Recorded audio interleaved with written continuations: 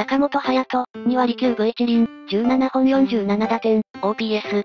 883これ。なんなんこいつ。サードでも12球団ナンバーワンやん。守備考えたらマジでナンバーワンやろな。これは三塁確定。最初からサードかファーストなら三冠王取ってそうやな。3000本まで頑張れよ。オフで守備練して体作れば40までサードやれそう。おっさんになって打撃技術上がってるんだよな。地味にバケモン。よくサード守る決意してくれた。グーレジェ。サード守備うまかったな。ハンドリングが素晴らしかった。中田より坂本の方が打撃技術上だって気づけてた人いるの？間違いなくレジェンドやけどレジェンド感ないまま引退するやろうな。総合力で歴代日本の越しにうっかり入りそう。坂本ってアンチにメジャーから逃げてるとか言われてる時あったけど、プロでこれだけのキャリア積んでるの普通にガチレジェンドやな。せっかくだし3割に乗せろよ。通算王で落合超えたんじゃねえの。派手にレジェやん。FA してパリーグ行って3000本打て。OPS マジなんこれ。欠点がそこだけ。打撃は文句ないしサードなら守備指標も上がるやろし、来年は王もさらに稼ぎそう。